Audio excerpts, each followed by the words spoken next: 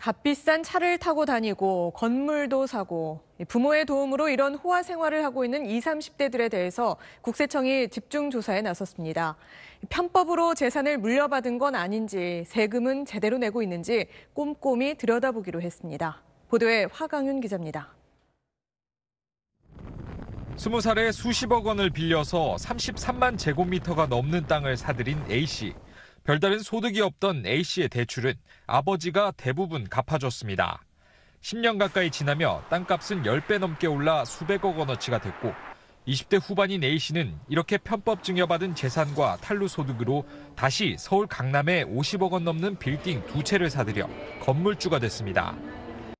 20대 초반인 B씨는 중학생 때 아버지로부터 증여받은 150억 원 덕분에 특별한 소득 없이 50억 원 넘는 집을 가지고 수억 원짜리 슈퍼카 석 대를 몰고 다닙니다. 국세청은 이렇게 호화 생활을 하는 20, 30대 자산가 등 38명의 편법 증여와 탈세 혐의를 포착해 조사에 들어갔습니다. 조사 대상이 된 20, 30대 자산가들의 평균 재산은 1인당 186억 원에 달합니다.